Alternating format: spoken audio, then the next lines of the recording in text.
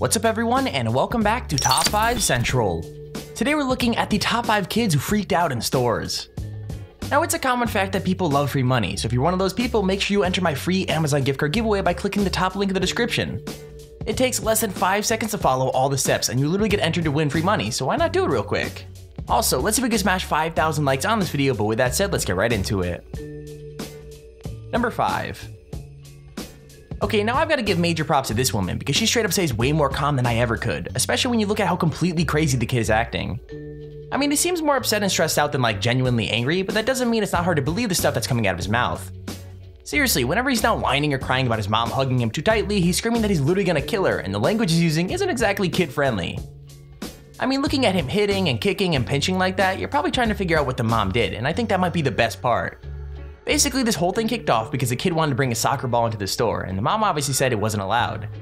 Like, uh, it seems a pretty stupid thing to get mad at, especially since he probably knew he was gonna get wrestled to the ground, so to be honest, at that point, he's just trying to cause trouble for his mom. Don't. Goddamn big. Jaden, stop! Stop hitting me! Jaden, stop! Here, Stop. take this. Stop now. Yes. Come on, you're sitting on the couch. Yes, we are. Stop hitting and kicking.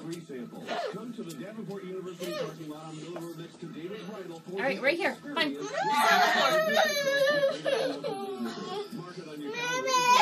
Not doing this all day, buddy. Then stop hitting me. Number 4. Okay, when it comes to bratty kids freaking out just because they don't know any better, there really is no better place than Super Nanny, and this might be one of the most extreme families on the show. I mean, things seem pretty simple at first, like the mom just has to take her kids to the supermarket. Easy, right? Well, wrong. Pretty much everything that could go wrong for this poor woman does go wrong, and it's enough to make anyone think twice about going to the store if they see any kids around. Like things are bad before they even get out of the car. First they got one of the kids crying and screaming her head off all because of a Care Bear book, and the other two are just sitting there looking super stressed out. It gets even worse though because as soon as they walk in, there's an argument about who's gonna sit in the car, and then when all three of them do, all hell breaks loose. I mean, kids are throwing stuff and strangling each other as well as just straight up running away, and I gotta say, it's pretty hard to watch. With that said, if you were the super nanny in this situation, would you let the kids get away with this or how would you punish them? Let me know in the comments below. Barbara, you're off to the supermarket now. Yes, we're gonna go to the supermarket. It's hard to take them to the store by myself because I can't control them. When we arrived at the supermarket, all three girls were arguing who was going to sit in the cart, and it was real troublesome. We're gonna see if all three of you will fit. Let's see if Leah can squeeze in next to you. Oh Lady Squeezing! This is every mother's nightmare. Children playing up in the supermarket where everyone else can watch you. Don't, Jesse. Mommy, we need new paintbrushes. Hey, Jesse, what are you doing, honey? Jesse, Jesse.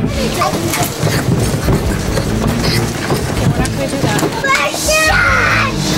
It was real troublesome for Barbara. And a Barbie, Mommy. And then Andrew was all over the place, running down all the aisles. Andra?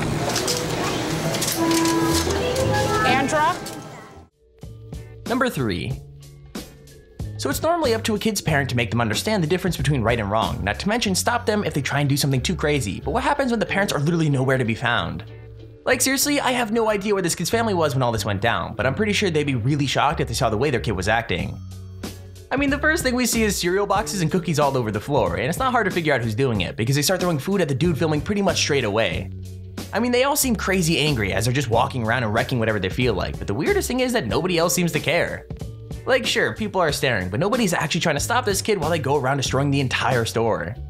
Now, by the time the kid gets dragged out of the shop by his t-shirt, he's already managed to ruin every display and even sneak into the back room, so I don't think there was even much damage left to do. Boy, we got a jit going ham in Dollar Store. I'm talking about a jit is going ham in Dollar Store. Believe that. I'm talking about. Jit is mad. Jit don't got no family. Jit say fuck this shit. Definitely. Cereal everywhere. Jit is crazy. We don't know who Jit this is, bro. Jit is just going ham, you feel me? I ain't caught nothing like this in a while. Hey, I'm talking about, bro, like, Jit.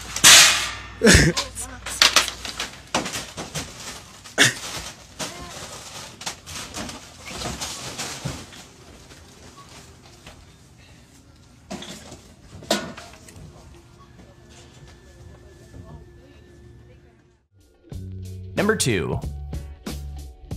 Now I know a lot of people who are pretty proud of their Pokemon card collection, but I've gotta admit, I've never seen anyone get as intense about them as this next kid. Like these two guys are having a hilariously geeky conversation about their own cards while this goes down, but you really want to be watching the kid in the background because what they end up watching is pretty extreme.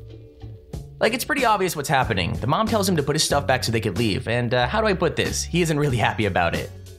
I'm not even joking, he starts screaming and crying, and at one point it looks like he's gonna throw the cards he's holding at his mom and his baby sister, but thankfully he just decides to keep throwing a tantrum instead. Now he does leave with his mom eventually, but not without making such a huge scene that makes his little sister cry too. 100% though, the best part is the guy's reaction because they're trying so hard to pretend like they're not filming, which is literally exactly what I would do if I was in their shoes.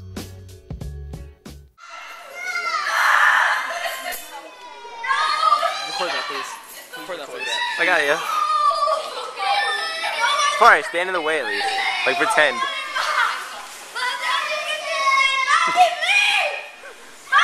Spy, you're such a silly man.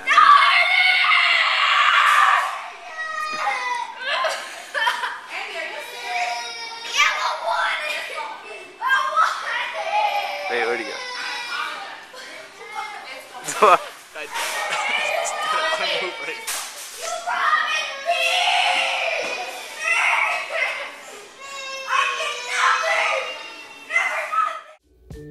Number 1. Now I don't know what's wrong with this kid, like maybe he's had too much sugar, or maybe he's just too excited to be at Chuck E. Cheese, but somehow he got away from his parents and managed to ruin literally everybody's day. Like seriously, the amount of chaos this kid manages to cause is pretty hilarious when you realize just how small he is. But I still feel bad for the random group of strangers that end up having to try and take care of him. I mean, he literally starts off by spitting at people, and then he starts climbing on the machines and trying to reach inside them, and all the people chasing him don't seem to bother him at all. I mean, at one point, he's literally sat inside the basketball machine just happily dunking baskets, and as weird as he's being, I've gotta admit, it's pretty iconic. Anyway, so many people try to carry this little dude out a bunch of times, but considering nobody knows where his parents are, he can pretty much do whatever he wants. It's a pretty ridiculous, but uh, I guess unfortunate situation, so let me know in the comments how you would handle it, because I know for a fact that if it was me, I'd probably get arrested for chucking a little kid right out the window.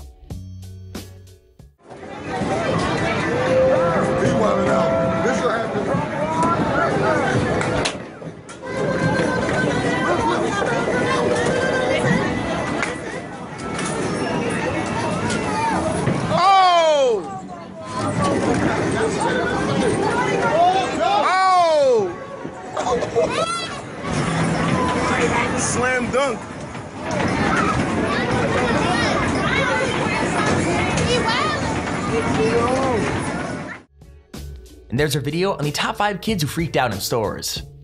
If you enjoyed the video, please feel free to leave a like down below and subscribe so you see whenever we upload a video. Also, if you have your own top 5 or top 10 ideal, feel free to search me a handy form in the description to submit it.